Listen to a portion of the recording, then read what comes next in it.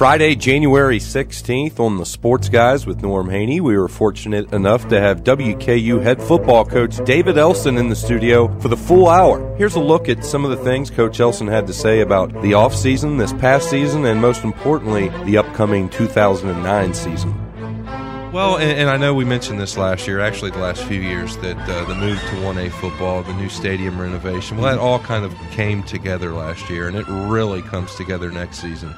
Um, you continue to get that positive uh, reaction from recruits now that you guys are moving to 1A. The stadiums come together, and really the the fan support this year I thought was tremendous. You had great crowds, and uh, it was just a different feeling around uh, WKU football this year. It, it, really was, and I tell you. Um, bringing kids to campus and, and this whole recruiting process, the, the great thing about it now is uh, we say, hey, you, the transition's over you know, we've been having to fight the transition and, and kind of people have used that against us. Oh, they're, you know, they're the bottom of the barrel, this and that. And, and now we're saying, hey, the facility's going to be done. You know, they're, they're redoing the turf right now.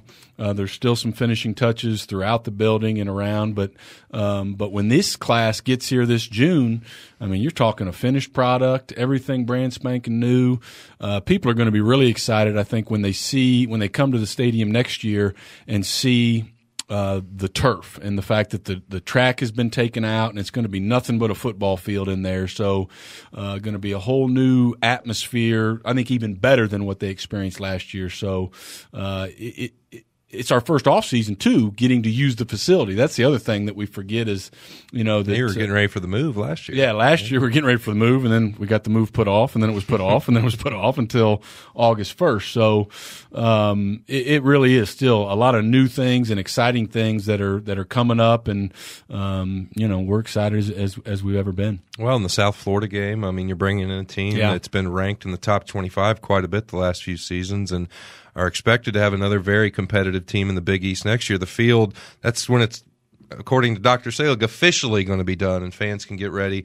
the the The field goal post will be centered with the scoreboard, yep. the new field. That uh, it's going to be an exciting game for for one sense that uh, it's it's maybe the first really high profile D1A program that's coming into Smith Stadium, and uh, have to imagine that's circled on the calendar, and uh, that's something you'll be talking about all off season as you work to get ready. Oh yeah, I mean to say that our home opener uh, for the first 1A season ever in the history of our school. The home opener is going to be against South Florida, who is about as good as a, of a model of starting and oh, going oh, yeah. 1A as, as you're going to find.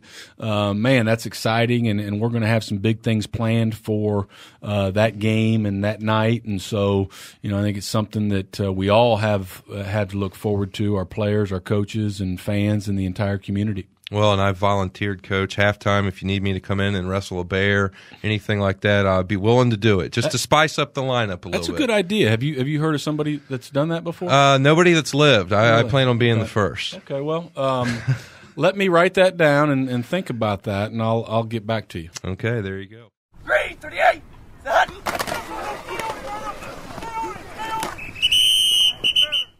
Coach, I know you guys had set your your expectations or your goals to to have a winning season to carry that tradition. It didn't work out that way. Uh, two and ten, obviously uh, not what you had hoped for. You knew going in it was going to be tough with the schedule you had and, and the amount of 1A teams you were going to play. Uh, what was it that maybe kept the team from getting over the hump in some of those games? Because you guys were right there in, in four or five of those games and very well could have came close to getting that winning record. Uh, Norm, I got to be honest with you here. I, I, have absolutely no idea what you're talking about. Um, I have mastered the art of having a short memory. Oh, okay. And so it's 2009, it's and we're undefeated. I mean, it's we're zero and zero. So, uh, really, I good I answer. I, I, I can't I'm not, I don't recall. No, I no, I'm not gonna. I'm not gonna. But that is the way we are approaching things. Trust me. But well, and you have to. You do. Yeah, you have to look forward. You got to sure. move forward, but you got to. You got to learn. You know, from from what we went through, and I think you know, there's no question that we learned a lot. Um, five out of six on the road. You know, as I look back on it to start the season that that was taxing on us, you know, as as a football team, and and we, we were playing a lot of young guys and uh, some some guys that had redshirted, you know, the the, the Ryan Beards, the um, Darius Brooks, and those guys, and sophomores, and Quinterrence Cooper and and Winquell Graves, and those guys.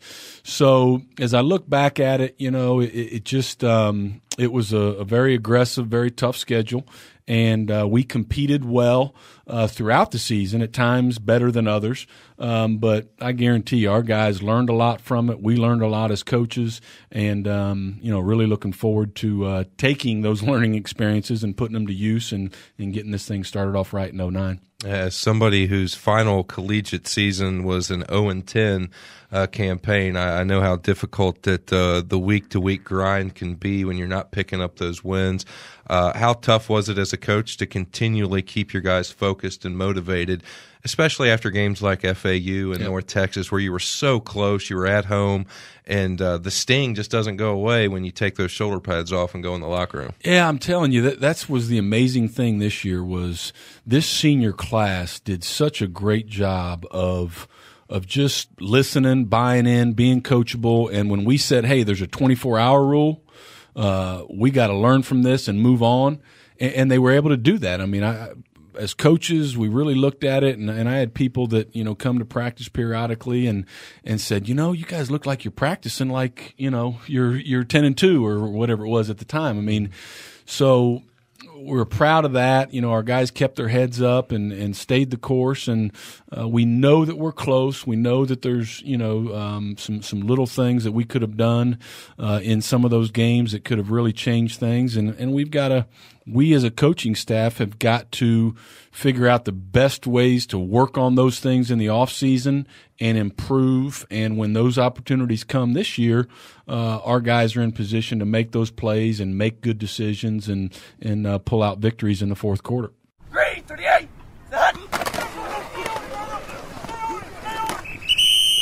You know, you look at a team like Utah, who you said you know, they went to Ann Arbor, and I know Michigan didn't end up being that good this year, but uh, you know, they played six six bowl teams, play beat four top twenty five teams at the end of the year. They did everything that can be asked of a team. They went undefeated. They beat Alabama in an SEC site, basically in in Louisiana.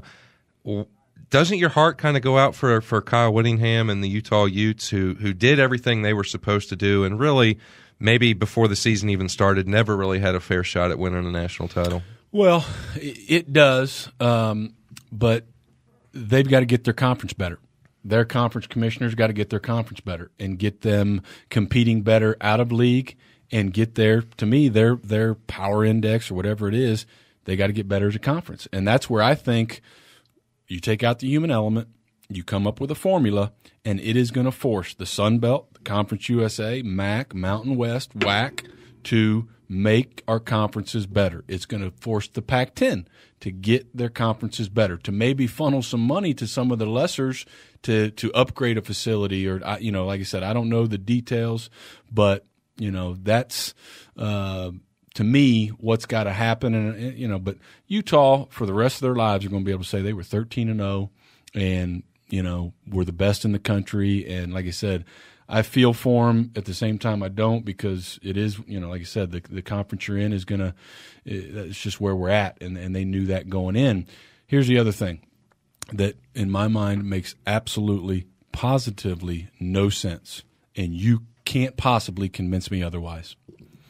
We have six BCS conference or six BCS conferences. Mm-hmm. Three of the six have a championship game. Where does that make sense? Alabama I, I agree 12 with where you're going with this. Alabama 12 and 0. They're the ones that should be feel slighted. Yeah, they had to try to beat We Florida. ran the table. Yeah. And we're in a major league. We're in one of the big. We're in the SEC, and yeah. we ran the table, and we don't get to play for the national championship because our conference chooses to have a conference championship game. And if I'm in the Big East and I go 12 and 0, I'm done. Yeah. If I'm USC in the Pac-10, 12 and 0, I'm playing for it. How those conferences can continue to agree to do that blows my mind. And oh, I know I it comes back to money that the conference championship game generates, but somebody's got to say, "Hey, Big East, get bigger, and Big uh, Ten and whoever Pac-10, you guys have a have a championship, or we don't all do it." I mean, it's just to me, I, just doesn't make sense. We thank Hilltopper head coach David Elson for joining the show. Remember to catch the Sports Guys with Norm Haney live from 5 to 6 p.m. on 1340 The Ticket or right here on 1340WBGN.com.